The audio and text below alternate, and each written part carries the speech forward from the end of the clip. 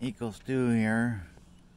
I went for a seven kilometer ride with my trailer, as you can see behind me, I think, and uh, did that ride and took a couple pictures of my trailer at businesses that I like like here in Altona, and I want to start a relationship with for my business with advertising my trailer and right now I'm sitting in the Altona United Church parking lot waiting for church to begin.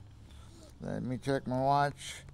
It's 9:47 so I've got another hour before the church begins, but people should start showing up pretty soon. I'm listening to the songbirds here. It's a very relaxing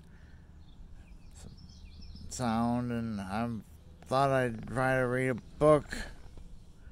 If you can see that, Climbing Adventures by John E. Lewis. I've read a couple pages, but I just like sitting here, closing my eyes, and listening to the birds. I've got a few scrapes from last night from my uh, drunken fall, but I rode the bike all right on the way home, so I guess I I can I guess I can ride a bike better than I can walk. Proof was last night. Anyways, I just wanted to touch base and show you what a beautiful day it is and the songbirds. So, anyways, this is Eco Stu Out. I'm doing fine, and I would like to stay that way, but uh, I'm sure I'll go low again sometime. Hopefully, it'll be a long time away, but you never know with me. So I hope everyone has an awesome rest of the Victoria Day long weekend, and the uh, our queen is probably up at heaven's gate.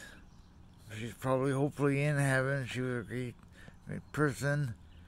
I didn't know her personally, but from the stories I've read, she was did great things.